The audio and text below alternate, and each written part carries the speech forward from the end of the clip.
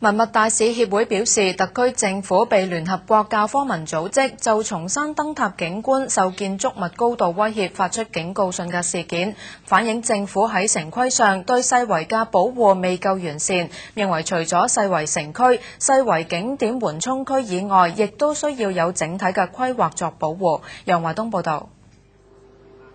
文物大使協會會長譚志廣表示，對整個世遺景區嚟講，政府都要作全面嘅保護。認為例如重新燈塔受樓宇高度阻礙，就算係合法嘅工程，亦應該同發展商研究能唔能夠將樓宇嘅高度降低，去維持整個世遺景點嘅完整景觀，以及符合聯合國教科文組織嘅規定。而喺整體城市規劃考慮喺保護世遺上，唔能夠只考慮景點，亦要包括保護周邊嘅環境。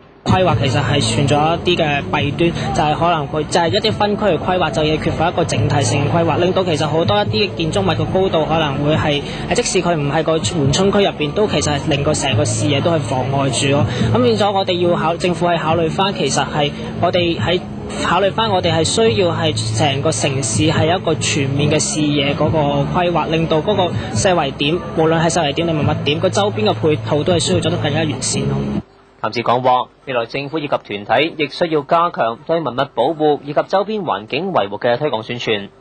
而文物大使協會舉行咗文物大富翁活動，以澳門歷史城區作為一個大型嘅棋盤，參賽者以分組嘅形式喺限時內完成所到十二個世遺景點嘅考驗。協會希望透過活動令參賽者走近文物，尤其加深青年對世遺嘅認識。